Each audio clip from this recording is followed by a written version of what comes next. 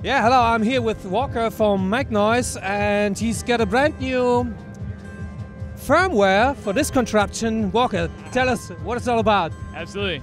Uh, this is the, the Make Noise Sound Hack Morphagene, and we've added a new firmware. Uh, it's free update to all Morphagene users, and you can download it and install it from uh, the Make Noise website anytime you want. Um, so this uh, this firmware adds a number of user-definable options to the Morphagene. Uh, what it does is the Morphagene uses a micro SD card, and whenever you uh, mount a micro SD card into a Morphagene that uses this firmware, it'll create a text file on the card, which you can load into a computer and edit a bunch of things on the on the Morphagene in terms of how it behaves. So we've added uh, the ability to track volt per octave signals uh, from sequencers and things like that. Uh, we've added the option of a phase slash position modulation input, which lets you do audio rate modulation to uh, the, the sound that you have going on, kind of like FMing the sound almost. Um, we've added a new uh, version of gene windowing that uh, creates smoother overlaps between genes, especially as you turn the morph control up and a lot of like for that really silky, smooth, granular sound. Um, let's see, we've we've uh, we've also added the ability to uh, have it record only the input instead of the mix of input and SOS, so that you could use it as kind of like a send effect, things like that. Nine different options in total. So I'm going to show you the, uh, the phase modulation input really quickly.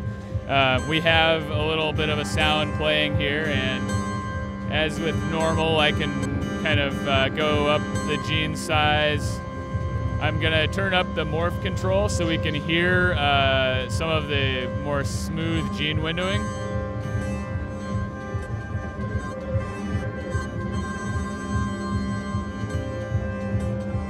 This is a little bit subtle, but if you are used to the windowing that's uh, that we had done before, uh, that's the, still the standard default option, then you will notice the difference when you slide through that. Uh, it just there's some cross fading, so it sounds extremely smooth. Um, all these options are optional too. If you don't do anything to that options text file, it'll just behave exactly as it did normally.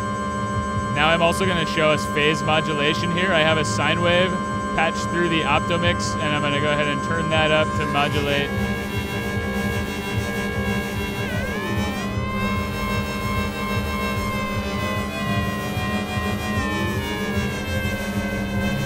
I really like to do dynamic phase modulation here. Uh, so I have it patched through the Optomix so that I can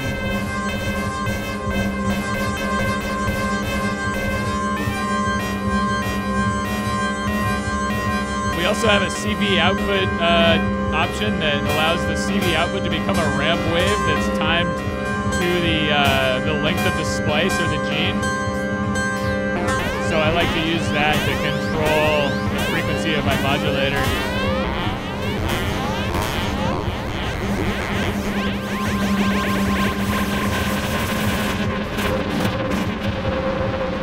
Just a couple of the options there. Uh, but if you go to makenoisemusic.com or check out our YouTube channel, we have a whole series of videos showing how to engage and use these options. So I guess it's uh, downloadable right now. It's, it's, new. Well, right now, yeah. Uh-huh. Just go to makenoisemusic.com and you can download it and install it right away. And it's free for everyone who has a Morphagene. Wonderful. Uh, well, that's about it, Walker. All right. Yeah, thank you very much indeed. Yes. Thank you for having us. Yeah, Yeah, okay, bye. So this was Make Noise, this was Walker, and well, bye for now.